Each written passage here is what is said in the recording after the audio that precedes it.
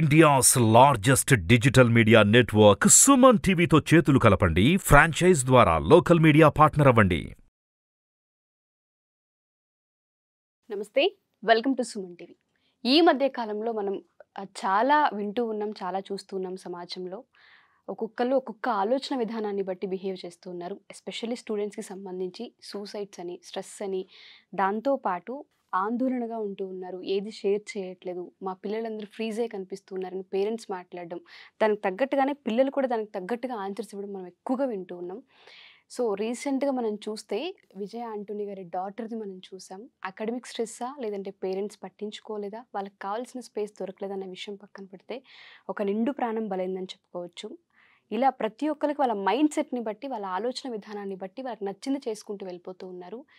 మనకు వచ్చిన ప్రతి ఆలోచన మనం ఏ విధంగా అయితే అనిపిస్తూ ఉంటుందో ఆ విధంగా లైఫ్లో ముందుకెళ్ళడం ఎంతవరకు కరెక్ట్? ఆలోచన వచ్చినప్పుడు కరెక్టా కాదా అని ఒక ఐదు నిమిషాలు ఆలోచించే అంత ఆ కెపాసిటీని మనిషి ఏ విధంగా పొందాలి? అసలు మనతో పాటు వాళ్ళు చాలామంది స్టూడెంట్స్ ఉన్నారు ఎస్పెషల్లీ విజయ పెద్దన గారు ఉన్నారు. ఆవిడ్ని ఫస్ట్ ఇంట్రడ్యూస్ చేస్తాను. ఆ తర్వాత కాన్సెప్ట్ ఏంటని మీతో మాట్లాడతాను. నమస్తే విజయ గారు నమస్తే ఉషా. మనతో పాటు చాలామంది స్టూడెంట్స్ ఇక్కడ ఉన్నారు. సూసైడ్కి సంబంధించి చాలా ఎపిసోడ్స్ మనం చేస్తున్నాం. ఎప్పుడు మనం మాట్లాడినా ఆ టైంలో వాళ్ళ మైండ్ సెట్ అని మీరు మాట్లాడుతూ ఉంటారు. కానీ చావు ఒక్కటే పరిష్కారం కాదు. దాని తర్వాత చాలా జీవితం ఉంటూ ఉంటుంది. అది మర్చిపోయి సూసైడ్ వరకు వెళ్తున్నారని మీరు మాట్లాడారు కాబట్టి ఇక్కడ చాలామంది స్టూడెంట్స్ ఉన్నారు. మైండ్ సెట్ ఏం చెప్తుంది? ఆ టైంలో వాళ్ళకి ఏ విధంగా ఫీలింగ్స్ ఉంటాయనేది వాళ్ళ మాటలను తెలుసుకుందాం. నమస్తే మీ అందరికీ. And thank you so much ఇక్కడ దాకా వచ్చినందుకు. ఒకసారి మీరు ఏమనుకుంటున్నారు ఏ పర్పస్ మీద ఇక్కడికి వచ్చారు ఏం అడగాలనుకుంటున్నారు? అడగొచ్చు. నేను ప్రజెంట్ ఇప్పుడు స్టడీస్ కంప్లీట్ చేసి జాబ్ ట్రయల్స్లో ఉన్నాను. జాబ్ ట్రై చేస్తున్నాను కానీ అన్నీ వచ్చినట్టు వచ్చి పోతూ ఉన్నాయి. అది నేను ఎన్నిసార్లని నాకు నేను చెప్పుకుంటానో అనిపిస్తుంది. మళ్ళీ మళ్ళీ ట్రై చేయొచ్చు ఇది కాకపోతే ఇంకొకటి అని. అలా అని ఇంట్లో పేరెంట్స్ నుంచి ప్రెజర్ లేదు. ఈరోజు నేను మీ ముందుండి క్వశ్చన్ అడుగుతున్నాను కానీ ఇదే రీజన్ వల్ల సూసైడ్ చేసుకున్న నా ఫ్రెండ్స్ కూడా ఉన్నారు.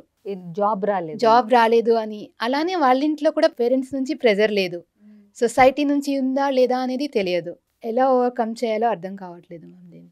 జాబ్ కోసం ట్రై చేస్తూ జాబ్ దొరకట్లేదు. ఎన్నిసార్లు ఈ రిజెక్షన్ని అంటే ఇప్పుడు జాబ్ రాలేదు మిమ్మల్ని తీసుకోవట్లేదు అన్నారు అంటే మళ్ళీ ఇంకో మళ్ళీ మీరు కొత్తగా వేట మొదలు పెట్టాలి first of all be grateful for what you have ముందు ఉన్నదానికి. ఇప్పుడు మీకు లక్కీగా పేరెంట్స్ నుంచి ప్రెషర్ లేదు.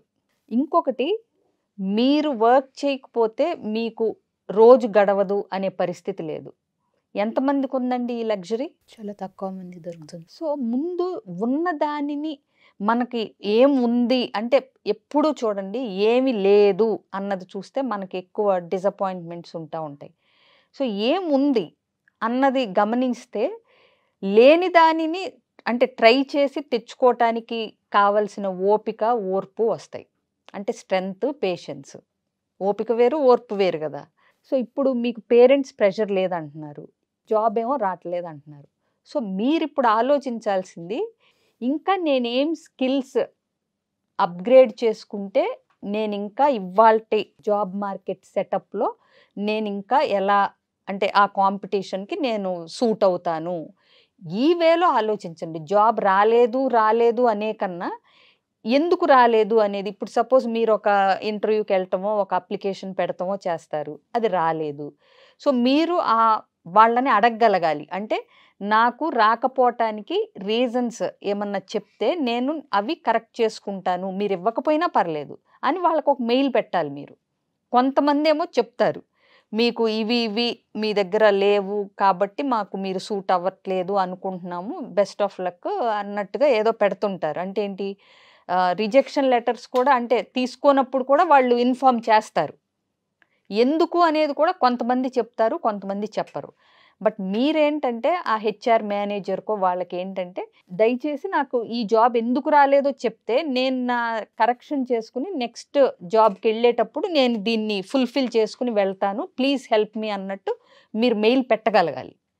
సో పెట్టినప్పుడు ఏంటంటే మనం ఎక్కడ ఈ పోటీ ప్రపంచంలో మనం జాబ్ తెచ్చుకోవటానికి మనకి ఇంకా ఏం స్కిల్స్ తక్కువ ఉన్నాయి నేను అప్లై చేసే జాబ్కి కావాల్సిన రిక్వైర్మెంట్స్ ఏంటి? అవి నా దగ్గర ఫుల్గా ఉన్నాయా లేదా? ఇంకా నేను ఎక్కడన్నా అప్గ్రేడ్ అవ్వాలా? ఇంకా ఏమన్నా సర్టిఫికేషన్స్ చెయ్యాలా? ఇంకా ఏ ఏరియాస్లో అన్నా నన్ను నేను ఇంప్రూవ్ చేసుకోవాలా? This should be your attitude. అంతే కానీ మనం మూడు నాలుగు జాబులు రాలేదు అని అనగానే నీరసపడిపోయి ఇంకా నాకు ఏ జాబు రాదు అంటే బాధపడటం కానీ ఎక్కువ స్ట్రెస్ తీసుకోవటం కానీ కన్నా కూడా ఒకటి రాకపోతే లక్కీగా మీకు రోజు గడవటానికి ఏమీ ఇబ్బంది లేదు. అంటే మీరు సంపాదిస్తేనే తినాలి అనే పరిస్థితి లేదు లక్కీ. అలాగే ఇంకా రాలేదా ఇంకా రాలేదా అని వెనకాల నసపెట్టే పేరెంట్స్ లేరు ఇంకా లక్కీ. కాబట్టి try to focus more on your skills and upgradation మిమ్మల్ని మీరు ఇంప్రూవ్ చేసుకోవటానికి అట్లాగే ఒకటే టైప్ ఆఫ్ జాబ్ కాకుండా మీకున్న ఇంకా ఏదన్నా కొత్త ఏమన్నా నేర్చుకుంటే ఇంకొక ఏరియాలో కూడా మీరు అప్లై చేయగలరా?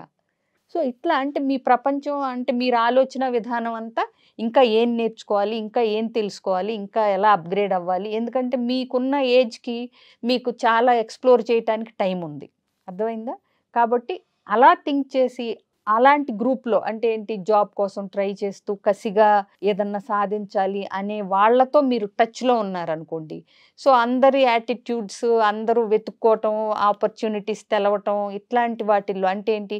ఫర్ ఎగ్జాంపుల్ మీరు లింక్డ్ఇన్లో కనెక్ట్ అవ్వటం ఇట్లాంటి అంటే ఇప్పుడు LinkedIn is related to mostly jobs. So ఇట్లాంటివి చేయటం వల్ల ఏంటంటే మీకు ఒక ప్రాపర్ వే దొరుకుతుంది. సో ఇన్స్టెడ్ ఆఫ్ నేను మూడు ట్రై చేశాను రాలే ముప్పై ట్రై చేసినా రానాళ్ళు ఉంటారు. ఇప్పుడు ఇంట్లో పేరెంట్స్ నుంచి ప్రెజర్ లేదు కానీ బయట సొసైటీ రిలేటివ్స్ ఇంకా జాబ్ రాలేదా? ఇంకా ఖాళీగానే ఉన్నావా? అలాంటి కొన్ని కొన్ని మాటలు విన్నప్పుడు ఎఫెక్ట్ అవుతున్నా అనిపిస్తుంది. నేను చెప్పటం ఈజీ అవుతుంది కానీ ఎఫెక్ట్ అవ్వద్దు అంటాం మీకు ఒక కథ చెప్తాను నేను. సో ఇలా వాకింగ్కి ఒక దారిలో కొన్ని కొన్నేళ్ళ క్రితం నేను ఒక రూట్లో వాకింగ్కి వెళ్ళేదాన్ని. సో అక్కడ ఏంటంటే లైన్గా మూడు ఇళ్ళల్లో క్రాస్ చేస్తున్నప్పుడు మూడేళ్ళ వాళ్ళకి కుక్కలు ఉండేవి సో అవి కరెక్ట్గా గేట్ దగ్గర అక్కడ ఉన్నట్టుగా ఉండేవి అనమాట సో అవి కరెక్ట్గా మనం వెళ్తాము మురుగుతూ ఉండేవి ఒక ఇల్లు దాటి దాటగానే మళ్ళీ రెండో ఇల్లు ఇది చూసి అది మొరగటం అది చూసి అది మొరగటం. అంటే ఒక మూడు నిమిషాల పాటు ఆ మూడిళ్ళు క్రాస్ చేసి వెళ్ళే వరకు కుక్కల బార్ చేస్తానే ఉండేవి. గుడ్ థింగ్ ఏంటంటే నేను సంతోషించేదాన్ని ఒక్క నేను వెళ్తున్నప్పుడే కాదు నా వెనకాల ఎవరన్నా వస్తుంటే కూడా అవి అరుస్తూ ఉండేవి కాబట్టి ప్రాబ్లం లేదు అవి ఒక్క నన్నే అరవట్లేదు అందరినీ అరుస్తున్నాయి. మామూలుగా తర్వాత మనకి ఆలోచిస్తే ఏంటంటే అరవటం అనేది కుక్కల నేచరు. సో వాటి నేచర్కి మనం ఇన్ఫ్లుయెన్స్ అవ్వాలా? మీకు అర్థమైంది అనుకుంటా ఒక వాక్యంలో నేను చెప్పాలనుకున్నది? చాలా క్లియర్గా. అరవటం కుక్కల నేచరు. కుక్క అరిచింది కదా అని మనం ఎక్కువ ఫీల్ అయిపోయాం అనుకోండి. రోజు మూడేళ్ళ కుక్కలో మూడేళ్ళ ఆరు కుక్కలో అరిసిన దానికి నేను ఇన్ఫ్లుయెన్స్ అవుతా ఉంటే డ్యామేజ్ అయ్యేది మనకి. ఎగ్జాక్ట్లీ. సో మీకు ఒక క్లారిటీ మీరు ఏ వేలో వెళ్తున్నారు మీరు ఎందుకు వెళ్తున్నారు ఎటువైపు వెళ్తున్నారు అనే క్లారిటీ మీకు ఉన్నంత వరకు కుక్కలు కానీ పిల్లులు కానీ సొసైటీలో వాళ్ళు కానీ ఏమన్నా ఇన్ఫ్లుయెన్స్ అవ్వాల్సిన అవసరం లేదు. అందులో ఏదన్నా మంచి ఉంటే తీసుకోండి. మీకు అక్కర్లేని చెత్త ఉంటే వదిలేయండి. ఫిల్టర్ చేయటం నేర్చుకోండి. ఎందుకంటే రేపొద్దున ఈ సొసైటీ రిలేటివ్స్ మీకు ఉద్యోగం వచ్చినా మీ జీతం మీరే ఎంజాయ్ చేస్తారు. రాకపోయినా మీ తిప్పలేవో మీరే పడతారు. పచ్చడి వేసుకుని తింటారో లేకపోతే ఏదో ఒకటి. మీ రొటీన్కి వాళ్ళకి సంబంధం ఏమి ఉండదు. కాబట్టి వాటికి ఇన్ఫ్లుయెన్స్ అవ్వాల్సిన పని లేదు. ఎవరి నేచర్ వాళ్ళు చూపిస్తూ ఉంటారు. మనం మన ప్రయాణం కొనసాగిస్తూ ఉండాలి అనేది తెలుసుకుంటే కనుక మనకు మనశ్శాంతి ట్రూ. ఎందుకు అంటే నేను కూడా ఒకటి చెప్తాను. ఈ సమస్యతో చాలా మంది స్టూడెంట్స్ ఇబ్బంది పడుతూ ఉంటారు. ఎస్పెషల్లీ ఆ ప్రాబ్లం పేరెంట్స్కి ఉండదు. అండ్ దాంతోపాటు ట్రై చేసే ఆ పర్సన్స్కి కూడా ఉండదు. ఎవరైతే ఈ వీడియో చూస్తూ ఉన్నారో ఎస్పెషల్లీ జాబ్ స్టైల్స్లో ఉన్న ప్రతి ఒక్కళ్ళు కూడా సాటిస్ఫాక్షన్ లేదని సమాజం ఏలైతే చూపిస్తుందని రిలేటివ్స్ అడుగుతున్నారు అని చెప్పి ఎక్కువ సూసైడ్కి సంబంధించి ఆ థాట్సే వస్తుంటుంటాయి లేదు అంటే ఇల్లు వదిలి వెళ్ళిపోవడం ఇలాంటివి చేస్తూ ఉంటారు. విజయ్ గారు మాట్లాడిన దాంట్లో మీకు ఎంత అర్థమైందో తెలియదు. ఒకటికి రెండు సార్లు ఆ ఎపిసోడ్ ఒకసారి రిపీట్ చేసి చూసుకుంటే మీకు చాలా క్లియర్గా అర్థమవుతుంది. లైఫ్ పైన మనకి మనం ఎప్పుడైతే ఫోకస్డ్గా క్లారిటీ ఉంటుంటుందో ఇటువంటి వాటికి పొరపాటును కూడా మనం వెళ్ళం. దయచేసి ఇది అర్థం చేసుకుంటే స్టూడెంట్స్కి జీవితం ఏంటో కనిపిస్తూ ఉంటుంది. ఆ గోల్ పైన క్లారిటీ ఉంటూ ఉంటుంది